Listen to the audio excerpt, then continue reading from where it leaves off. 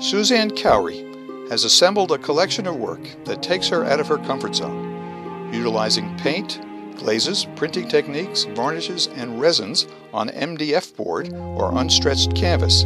The artist documents her observations of the weather. A weather diary depicts the features of the atmosphere that often control our activities, even our lives. With images of varying skies, clouds, sunlight, rain, landforms, and even the night sky with stars, Miss Khouri addresses the changing environment, which differs from that which she experienced as a child living in her native Sweden. Khouri undertook this exercise to examine other art techniques as a way of demonstrating to her students that serigraph techniques can be successfully combined and integrated with other media.